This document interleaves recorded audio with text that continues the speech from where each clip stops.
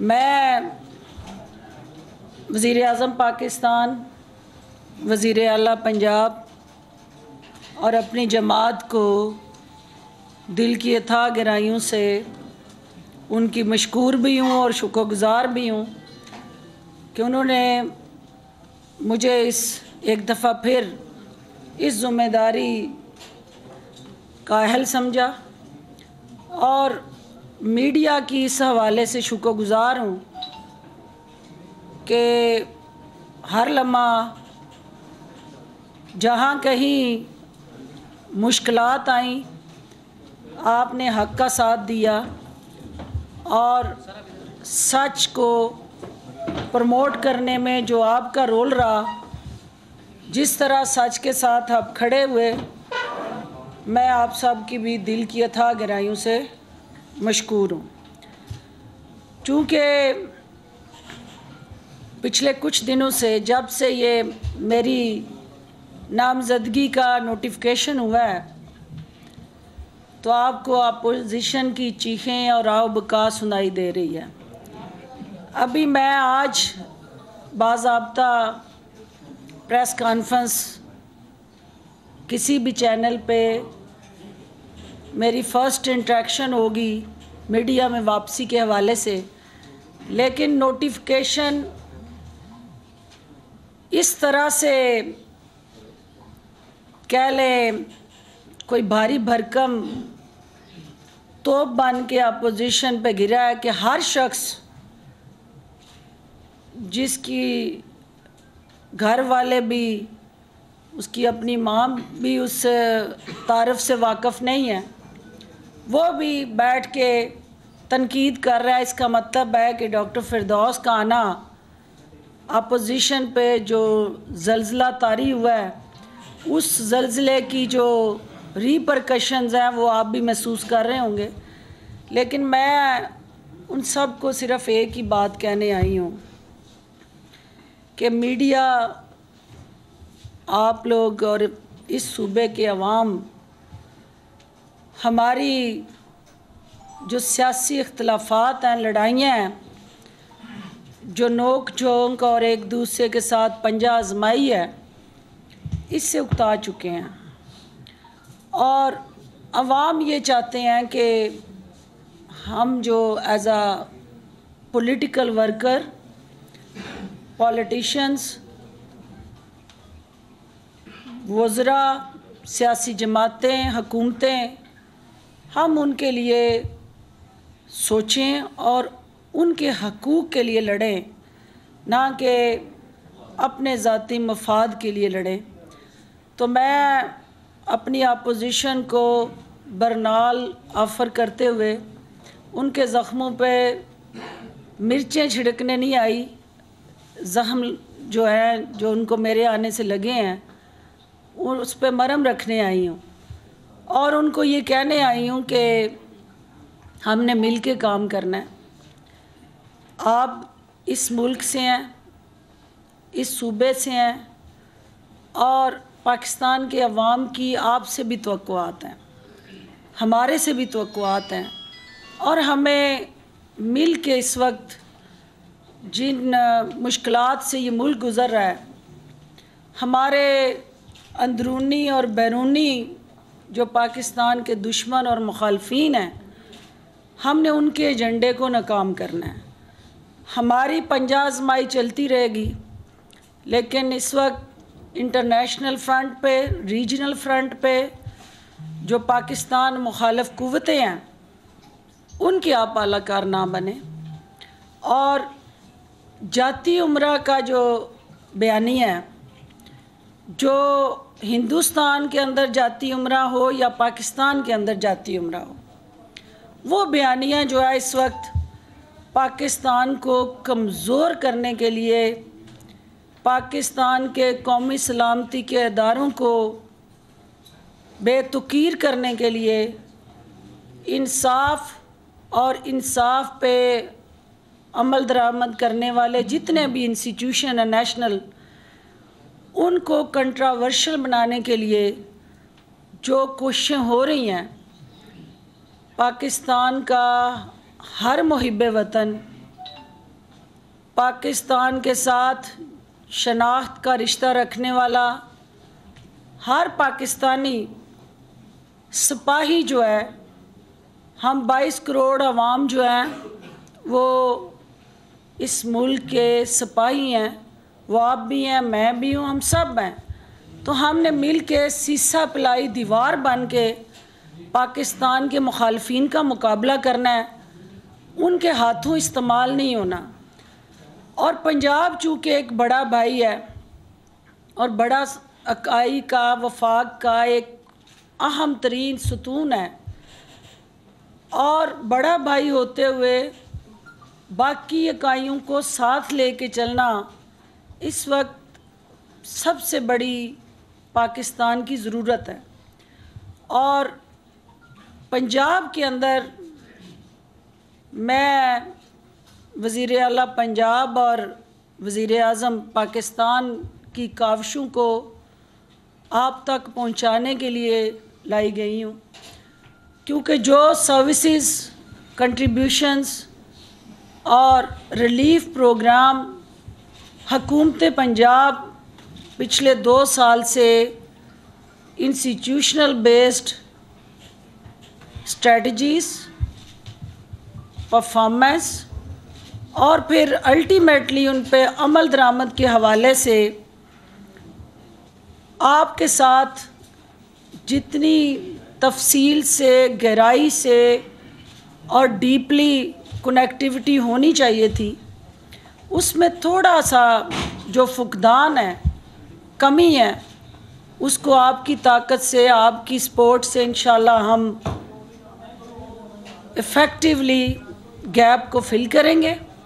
और आज चूँकि पहला दिन है तो मैं नहीं चाहती हूँ कि अपोजिशन के मोर्चों पे बम्बारमेंट हो, लेकिन क्या किया जाए कि किसान इतिहाद के हवाले से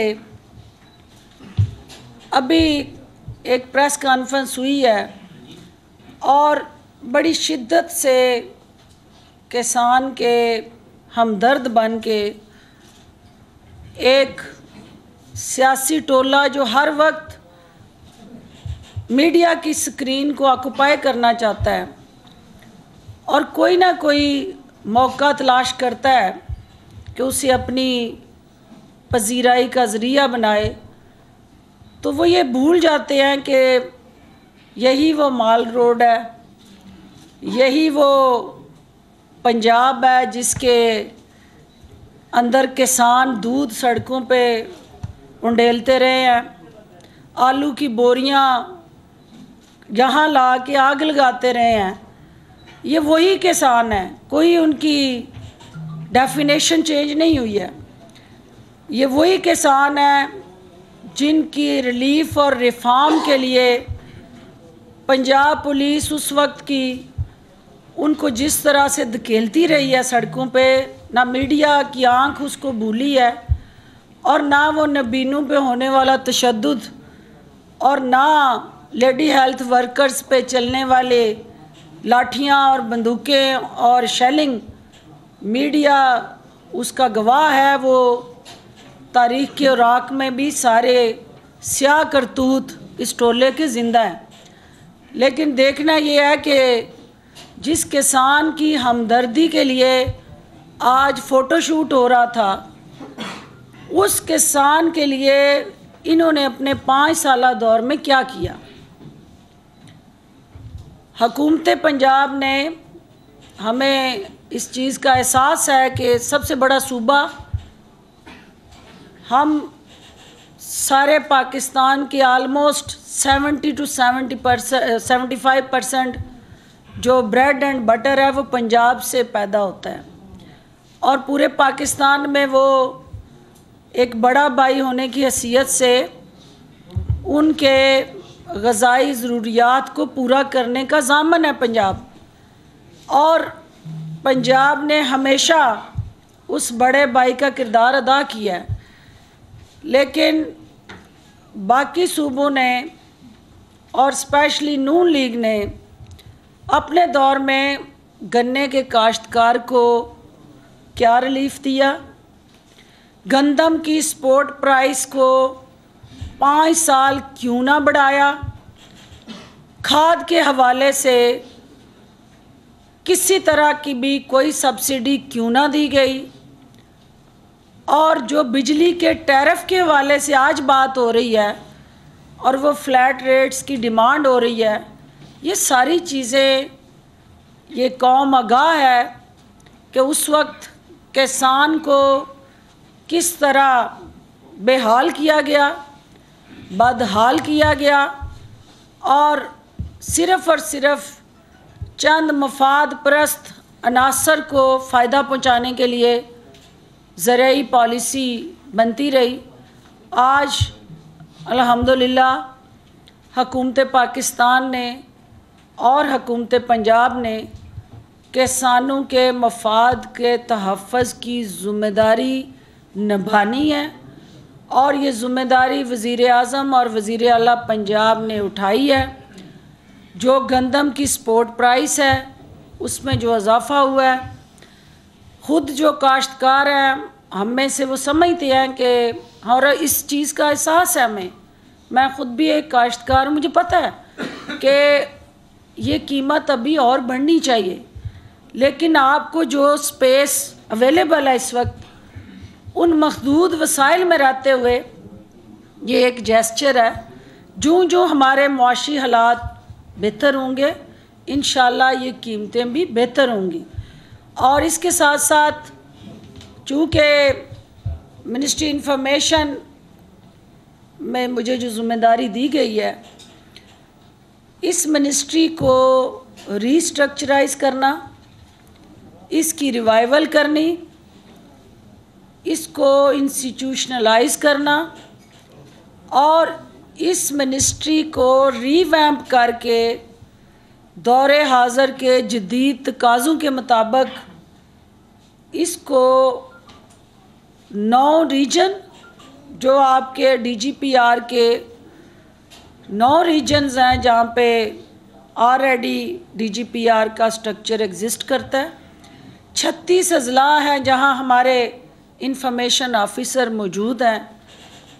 और पंजाब के अंदर जो स्ट्रक्चर है, हमारी जितनी मिनिस्ट्रीज़ हैं, उन मिनिस्ट्रीज़ का जो कनेक्टिविटी बॉन्ड है और नेटवर्किंग है, उसको हम डिजिटलाइज करने जा रहे हैं। आपकी प्रेस क्लब्स जो सूबे भर में मौजूद हैं, उनको इन एक सेंट्रलाइज्ड मेकनिज़म के तहत हम इंफॉर्मेशन ऑफिसर्स और प्रेस क्लब्स के अंदर बैठे जो हमारे जर्नलिस्ट्स हैं, उनको भी डिजिटल कम्युनिकेशन एकेडमी के ज़रिए एम्पावर करने जा रहे हैं।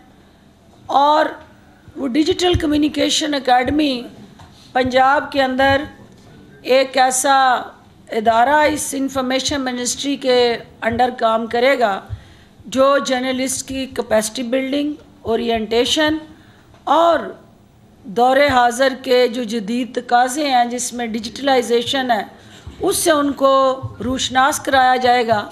और इसमें जो हमारे प्राइवेट मालकान हैं अखबार और चैनल्स के, उनको हम अपने साथ पार्टनरशिप में लाएँगे।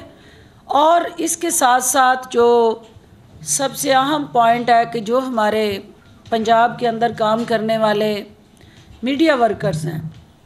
वज़ी अला पंजाब के साथ, जो तफसील के साथ मीटिंग हुई है, उसमें वज़ी अला ये ख्वाहिश रखते हैं और उनका ये अज़म है कि मीडिया वर्कर्स को हर तरह से सहूलत कारी फ्राहम की जाए।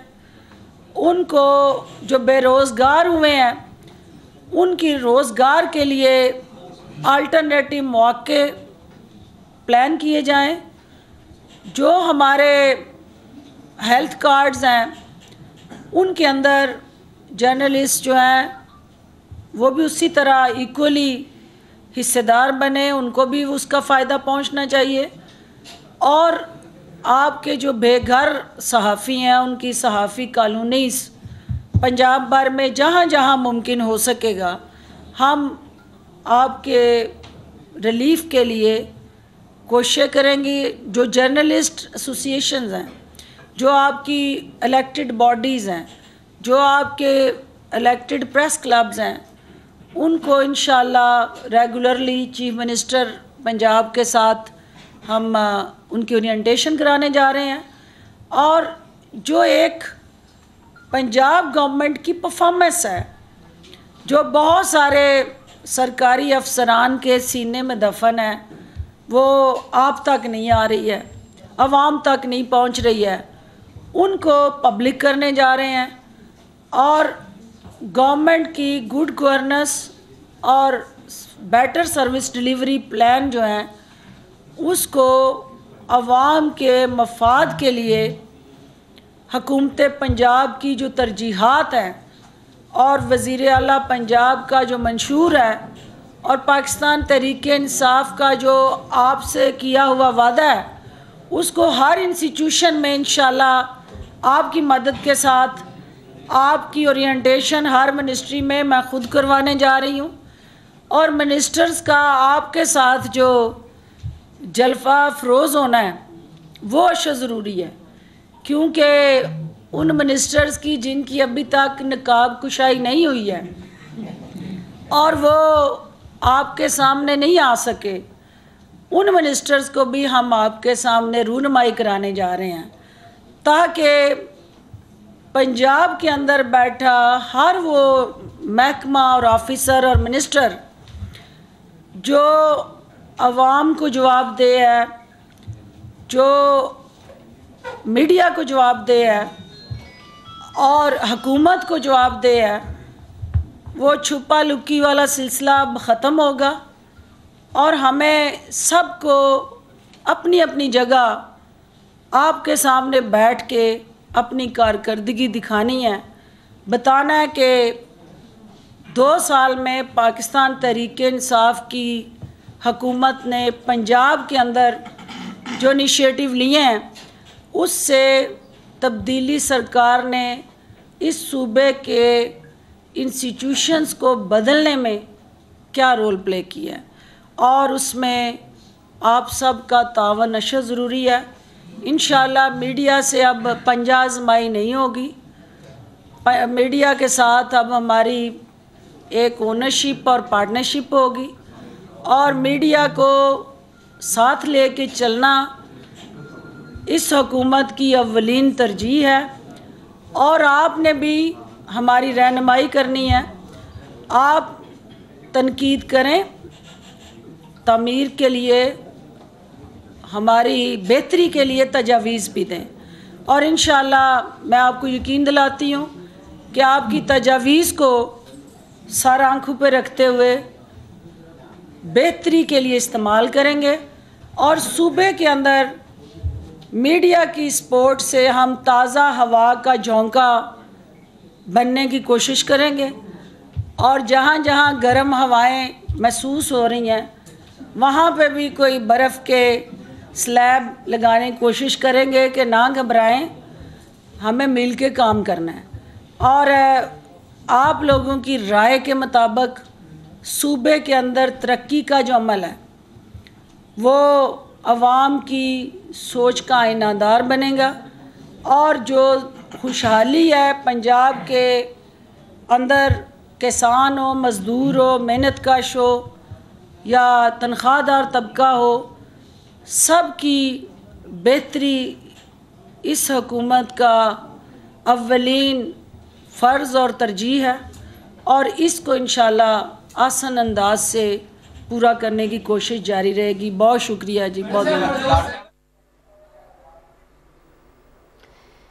सूबाई मुआवनी खसूसी बर इतलात फरदास आशिकावान लाहौर में मौजूद मीडिया से बात कर रही थी। कहना उनका यह है कि अब मीडिया से पंजा आजमाई नहीं होगी। मीडिया को साथ लेकर चलेंगे। आप तनकीद करें। हमारी बेहतरी के लिए तजावीज़ दें। आपकी तजावीज़ पर अमल दरामद भी किया जाएगा। कहना उनका यह भी था कि वो नई जिम्मेदारियाँ सौंपे जाने पर वज़ी अजम और वज़ी अला पंजाब की शुक्रगुजार हैं। उन्होंने ये भी कहा कि अपोजिशन दुश्मन की अहला कार बनने के बजाय हुकूमत का साथ दे। बर रास्त मनाजिर हम आपको दिखा रहे थे। मजीद खबरों और अपडेट्स के लिए हमारे साथ रहिए।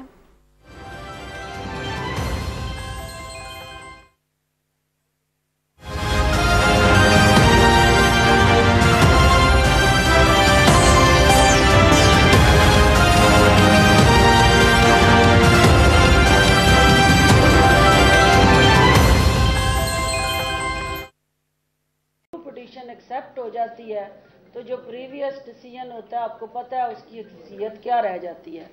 तो मैं ये चाहूँगी कि जो वफाक के मामलात हैं, वो हम वफाक में डील करें। जो आपने दूसरी बात की तो मेरी तैनाती खुद आपके सवाल का जवाब है कि सच जीत गया और झूठ को शिकस्त हो गई। तो इसका मतलब है कि वो प्रोपोगंडा जो था वो झूठ में अच्छा मैडम ये बताइएगा जब वजीरों को उनसे वजारत वापस ली जाती है तो वो उनको पता ही नहीं होता इलम ही नहीं होता। क्या आपको नहीं लगता कि पहले दिमाग में लेना चाहिए जब आपसे वजारत ली गई थी आपको भी नहीं पता था असद उमर को भी नहीं पता था कल चौहान साहब को भी नहीं पता था तो क्या कहते हैं आप? देखिए आप खुद कहते हैं कि ये तब्दीली सरकार है तो ये तब्दीली की निशानी है। मैडम आपने बहुत उम्मीद अफजा गुफ्तगू की है। मैडम आपने बहुत उम्मीद अफजा गुफ्तगू की है लेकिन आप ही के कैबिनेट फेडरल कैबिनेट के जो वज़ीर शेख रशीद साहब वो कहते हैं मुख्तारिया गल बद गई है। झाड़ू फिरने वाला है जनवरी में। तो कैसे देखती है इसको? देखिए इस वक्त जो है वो पाकिस्तान हालत जंग में है। हालत जंग में इसलिए है कि हमारे बैरूनी दुश्मनों ने पाकिस्तान पे अटैक किया। वो मीडिया अटैक है इंटरनेशनली, वो पॉलिटिकल अटैक्स हैं कुछ।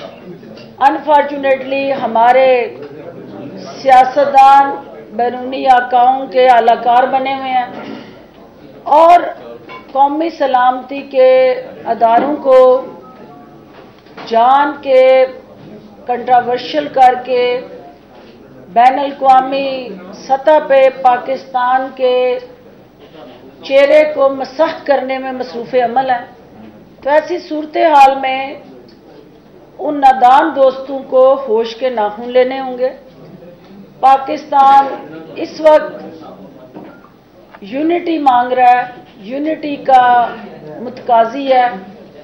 हमें तकसीम करने की कोई भी साजिश, कोई बयानिया जो पाकिस्तान को कमज़ोर करे, उसको डिस्करेज करना चाहिए। और कोशिश ये है आपकी मीडिया की भी कि इस सूरत हाल में आपका एक जिम्मेदाराना रोल जो रहा है, उसको और ज़्यादा इफ़ेक्टिव अंदाज से आगे बढ़ाएँ। अभी ये किसान इतिहाद के हवाले से जो मुजाकरात थे वो कामयाब हो गए हैं तो अपोजिशन को एक और शिकस्त हो गई है। क्योंकि जो चूरन वो बेचना चाह रहे थे, उनके अरमानों पे औस पड़ गई है। और किसान इतिहाद ने हकूमत के साथ इतफाक राय करते हुए अपने एहतजाज को ख़त्म करने का ऐलान कर दिया। डॉक्टर साहब है फैजान से- सवाल सवाल ये है कि आपकी पार्टी का सबसे बड़ा जो नारा था वो ये था कि लोकल गवर्नमेंट में पावर करेंगे। मुस्लिम लीग नवाज़ भी दो हज़ार तेरह में इंतज़ार में पंद्रह के इंतबात करा दिए थे। अब आपकी पार्टी अभी तक इंतबात की तरफ़ नहीं आ रही। आप सब आते हैं लोकल गवर्नमेंट स्कीम की बात करते हैं लेकिन इंतबात की तरफ़ आप लोग नहीं आ रहे। तो कोई डेट आप दे सकती हैं कि इस तारीख को इंतबात हो जाएँगे आने वाले दिनों में? देखिए पाकिस्तान तहरीक इंसाफ का जो मंशूर और एजेंडा है, वो आम पाकिस्तानी को एम्पावर करना है। इख्तियार को निचली सतह पे मुंतकिल करना है। और वो बगैर लोकल गवर्नमेंट के स्ट्रक्चर के हो नहीं सकता। वज़ीर आज़म हूँ या वज़ीर अला हूँ, वो इस स्टेटमेंट के साथ, इस मंशूर के साथ, इस बयानिए के साथ जुड़े हुए हैं और खड़े हैं। कुछ आपके रिफॉर्म्स हैं, कुछ आपका लीगली ऐसा इंस्टीट्यूशनल चेंजेस और अमेंडमेंट्स हैं। और आपने देखा कि हर सूबे के अंदर लोकल गवर्नमेंट स्ट्रक्चर डिफरेंट है। पाकिस्तान तरीके इंसाफ ये चाहती है कि हम यूनिफॉर्म अप्रोच की तरफ़ जाएँ और एक uniform consensus agenda local government का हर सूबे के अंदर मुतारफ कराया जाए और वो म्यूनसिपैलिटी गवर्नमेंट्स हों या आपकी तहसील गवर्नमेंट्स हों या सिटी गवर्नमेंट्स हों, वो आगे लोगों की जिम्मेदारियाँ बाख्तियार होकर अदा करें। ये लीगल चूँकि लैकुनास थे कुछ लीगली अदालती मसाइल, चूँकि आपके जो नाजमीन थे, जो सबका चेयरमैन थे, वो अदालतों में गए हुए थे। और वो जो केस अदालत के अंदर या जो इशू अदालत के अंदर जेर बहस आ जाता है, फिर उस पर एग्जैक्टिव को होल्ड अप पे जाना पड़ता है। तो जो ही ये क्लैरिटी आती है इन बल्दियाती इदारे, जमहूरियत के लिए ऑक्सीजन का सिलेंडर होते हैं। और बल्दियाती इदारे ही वो नर्सरी होते हैं जहाँ से कौमी क्यादत परवान चढ़ती है। तो पाकिस्तान तरीके इंसाफ उस नर्सरी को हर हाल में फाल करने के लिए पुरजम है। मैडम ये कहिएगा मैडम ये कहिएगा इश्तेहार जो है आपके मैडम के वन बाय वन मैडम मेरा नाम काफ़ी मैं bureau chief Rose TV channel Lahore से। मैडम ये बताइएगा कि आपने बड़े बड़े अच्छे अभी लानत किए हैं साथियों के लिए और मीडिया हाउसेज के लिए। तो शोभा इश्तेहार चैनल्स और अखबार के लिए आपकी पॉलिसी क्या होगी? किस तरीके से आप जो है वो देंगे इश्तेहार और चैनल्स को और अखबार को? देखिए पॉलिसी बड़ी डिफाइंड है। क्लियर है। Transparent policy merit based policy और पिक एंड चूज़ नहीं। अपने ब्लू आइड नहीं। डिस्क्रिशन नहीं। हकदार को हक दिलाना जो है ये पॉलिसी होगी जिसका जितना हक बनता है उसको उतना हक मिलना चाहिए।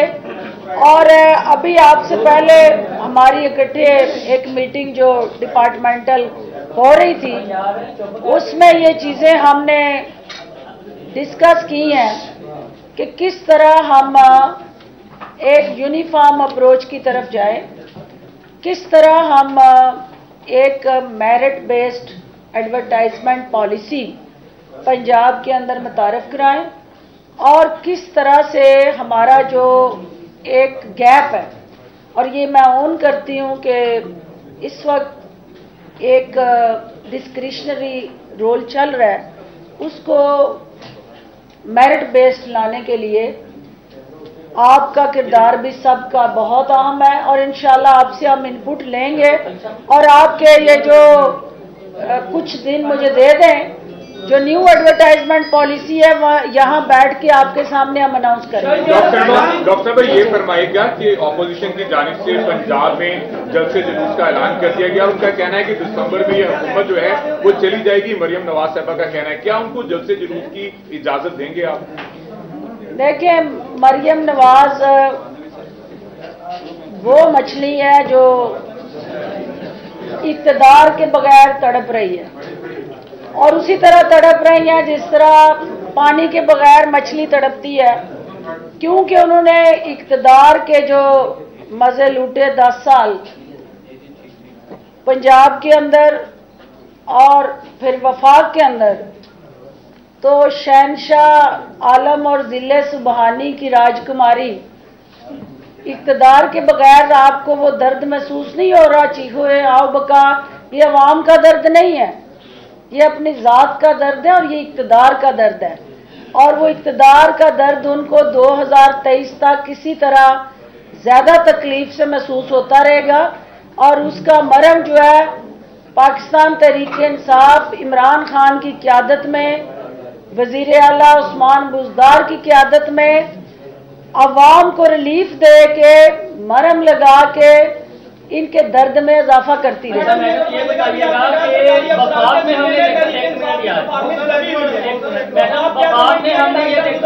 चले चले उसको मौका दे दे उसको मौका दे दो। मौका दे दो हाँ। चार चीफ सेक्रेटरी पाँच आईजी डील करके आप अभी तक समझ है कि ब्यूरोक्रेसी और तरीके इंसाफ की हुकूमत एक प्लेटफॉर्म पे ब्यूरोक्रेसी और पाकिस्तान तरीके इंसाफ की हुकूमत एक पेज पे है।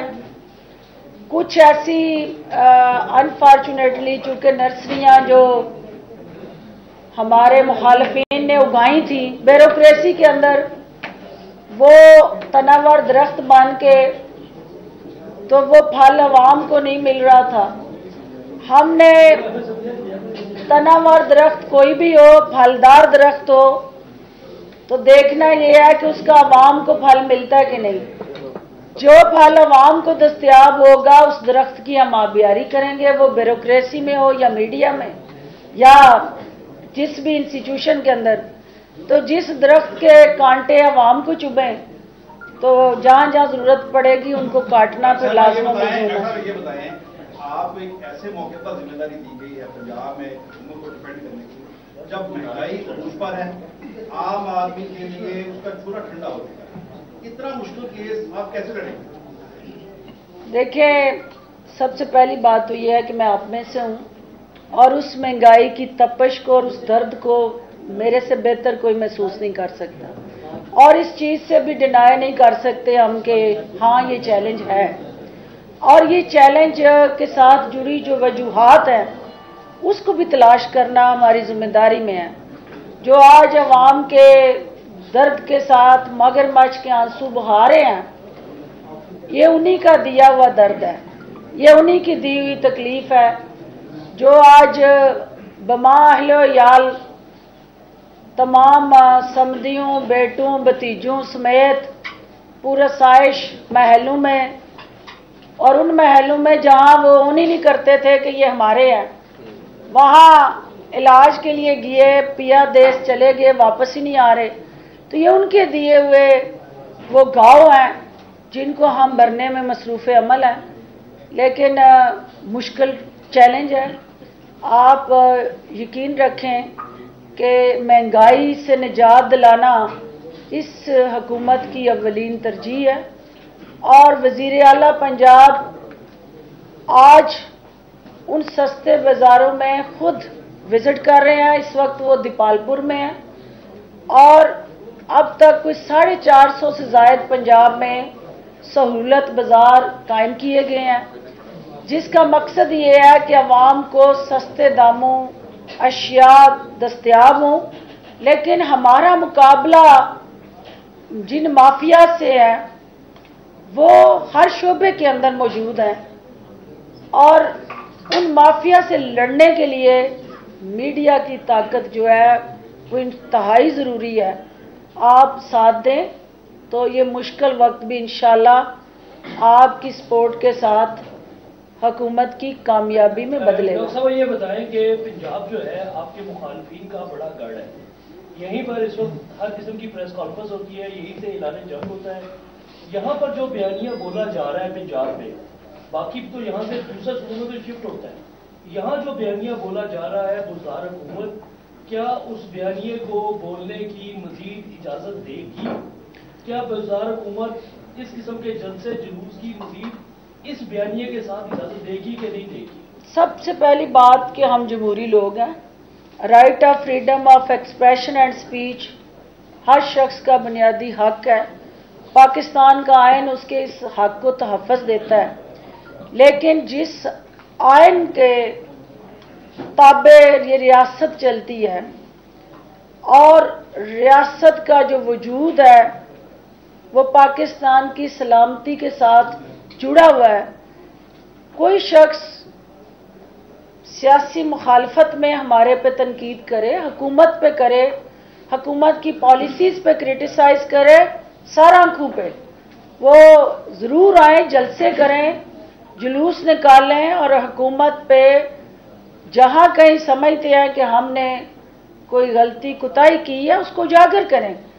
लेकिन अगर किसी ने पाकिस्तान के वजूद पे हमलावर होने की कोशिश की और पाकिस्तान के जो नेशनल सिक्योरिटी और डिफेंस का हसार है, उसको तोड़ने की कोशिश की तो ऐसी जबानों को मुँह से फिर हम खींचेंगे। क्योंकि किसी को ये इजाज़त नहीं दी जा सकती कि वो अपने मफाद के लिए कौमी मफाद को दाव पे लगाए। और कौम सीसा पलाई दीवार बन के उन मुट्ठी बार बैन अवी आलाकारों का मुकाबला करेगी और इन हुकूमत नहीं रोकेगी, मीडिया रोकेगा, वाम रोकेगी और उन जाति एजेंडे पे मबनी बयानिए को प्रमोट करने वाला टोला, जिस जिसके हाथ में खिलौना बन रहा है, हम उनके आलाकारों को भी और उनके सहूलतकारों को भी जानते हैं। और उन तक वो तमाम जो नेटवर्क जो पीछे बैठ के सहूलतकारी कर रहा है और फिनांस कर रहा है, और वो, उसकी भी हम तहकीकात कर रहे हैं और जल्द मीडिया को भी बेनकाब करेंगे वो चेहरे कि ये जंदाल के साथ कारोबार करने वाले वो पैसा जो है हिंदुस्तान के ज़रिए कहाँ कहाँ आके कहाँ आपको कमज़ोर करने के लिए इस मुल्क की जड़ों को खोखला करने के लिए इस्तेमाल हो रहा है। उसका फैसला वक्त आने पे आप तक पहुंचेगा और इन जमहूरियत के अंदर जलसे जुलूस जमहूरियत का हुसन है। आए करें, लेकिन उसकी आड़ में पाकिस्तान को नुकसान पहुँचाने की कोई भी स्ट्रेटजी जो है, उसका कला कमा करेंगे और आनी हाथों से निपटेंगे। अच्छा मैडम जब भी वफाक में या पंजाब में कोई तब्दीली होती है जिस तरह आप आई हैं चौहान साहब गए हैं तो मोकलों का बड़ा ज़िक्र होता है वफाक में। अब पंजाब में भी मोकलों का बड़ा ज़िक्र होता है। आप समझ नहीं होंगी इशारा की जानी है। ये बताइएगा कि मोकलों की मुदाखलत आपके आने के बाद पंजाब में कम हो जाएगी या ज़्यादा होगी? क्योंकि आपने गुजरा को भी कह दिया कि आपकी नकाब कुटाई का वक्त आ चुका है। तो क्या देखिए बात ये है कि मैं ये समझती हूँ कि आपके साथ भी मुनकर नकीर चल रहे हैं। और हिसाब किताब तो सबका हो रहा है। और दुनिया और आखिरत में हिसाब किताब तो चलते रहना तो हमें हिसाब किताब से क्यों घबराना जिसने कुछ गलत नहीं किया, उसको तो हिसाब किताब के लिए तैयार रहना चाहिए। और ये मुनकर नकीर के बगैर ना दुनिया में और ना आखिरत में। कहीं पे भी आपकी कोई जगह नहीं है। लास्ट बेटे लास्ट जो आप जो प्रोटेस्ट कर रहे हैं अपोजिशन वाले तो जब से जुलूस कर रहे हैं। इसी तरह पीटीआई गवर्नमेंट भी प्लान कर रही है कि वो भी अब जब से जुलूस के लिए बाहर निकलेगा। तो इसको काउंटर करने के लिए ये जब से जुलूस ही होंगे। और दूसरा मिठा सीरियस होती चली जा रही है पूरे मुल्क में। इन सिचुएशन में तो हम और सिचुएशन की तरफ़ चले जाएँगे। देखिए हमारे जल से जुलूस जो है वो जात के दर्द के लिए नहीं होंगे ना इकतदार के दर्द के लिए होंगे। जहाँ कहीं वज़ीर आज़म या वज़ीर अला जाएँगे तो वो किसी पब्लिक वेलफेयर प्रोजेक्ट के लिए जाएँगे। वो अवाम के मफाद के लिए जलसा होगा और उसका अल्टीमेटली फोकस मरकज और महवर ये होगा कि वहाँ वज़ी अजम और वज़ी अला के जाने से उस डिस्ट्रिक्ट को या उस तहसील को रिलीफ मिले। और अपोजिशन का काम उन जलसों को करके उस रिलीफ को रोकना है।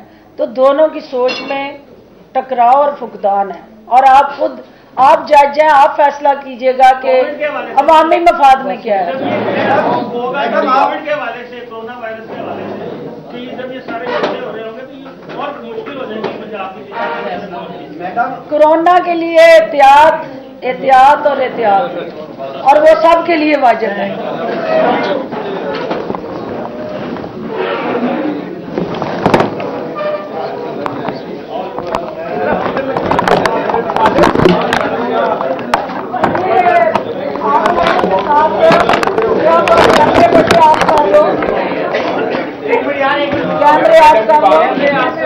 कैमरे इंडिविजुअली एक हमारी साथ